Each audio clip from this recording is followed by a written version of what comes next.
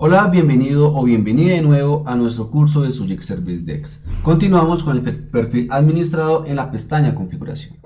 Al ingresar a la pestaña configuración, lo primero que nos va a aparecer es el reporte de configuración.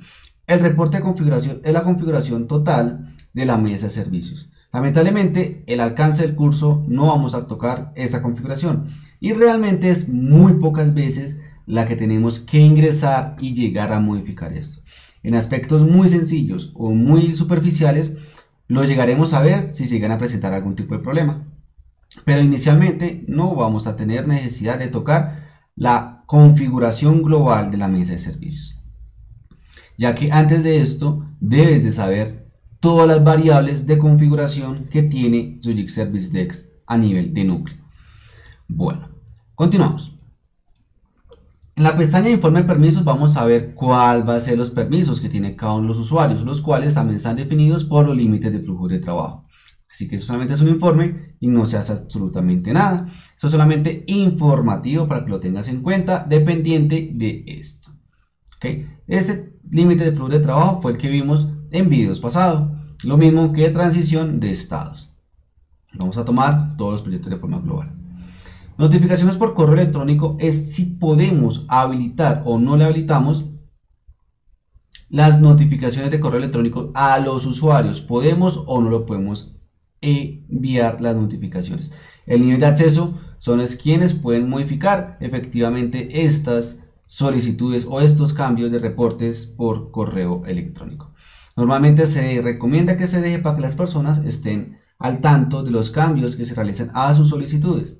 Por ejemplo, acá tenemos el mensaje que se le envía a la persona, a qué perfil de persona se le está enviando, digamos, al usuario que reporta la solicitud, se le envían todos los correos electrónicos, por ejemplo, cuando cambia el estado, se le envía notificación. El usuario que gestiona la solicitud o el especialista, ¿cierto? También se le envían los correos electrónicos. Los usuarios que supervisan la solicitud, recuerden que las solicitudes pueden tener supervisores no gestores directamente como los especialistas, sino que una persona que está supervisando el flujo de la solicitud. ¿Listo? Está pendiente de lo que están haciendo. Entonces estamos dándonos cuenta que puede, se le puede enviar una notificación cuando se genera un cambio de asignaciones, solicitudes reabiertas, cuando se elimina alguna nota o algo, normalmente siempre se evita esto, enviar un correo electrónico en caso de que se añada una nota, etc. ¿Listo? Usuarios que añaden notas. Entonces, cuando yo añado nota como un usuario externo a la solicitud, también puedo recibir esto.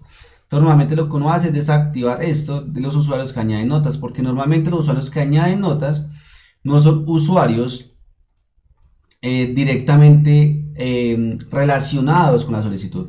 De pronto llegarán a hacer un comentario y no van a volver a tocar la solicitud, la solicitud nuevamente.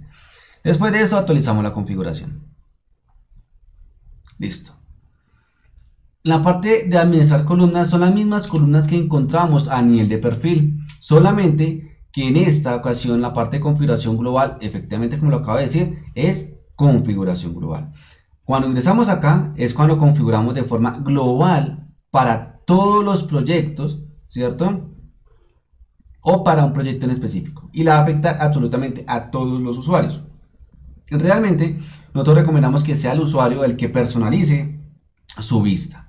Recuerda que esas columnas que vemos acá son las columnas que se utilizan para exportar acá. Entonces yo puedo agregar o quitar una columna adicional. Cuando le digo exportar a CSV, se me exporta con las columnas que yo he definido. Lo mismo que exportar Excel, etc. Recuerda que también el usuario lo puede definir de esta manera.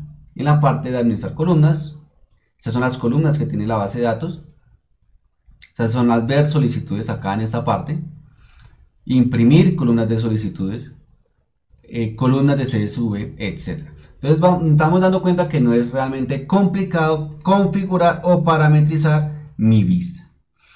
De esta manera estamos dando cuenta que la configuración de su Service Dex puede ser y es realmente súper sencilla, súper fácil de manejar sin ningún tipo de complejidad. Pero bueno, ya hemos visto las diferentes pestañas. Falta ver una pestaña muy especial que es la de plugins. En esa pestaña es donde nosotros activamos o desactivamos los plugins.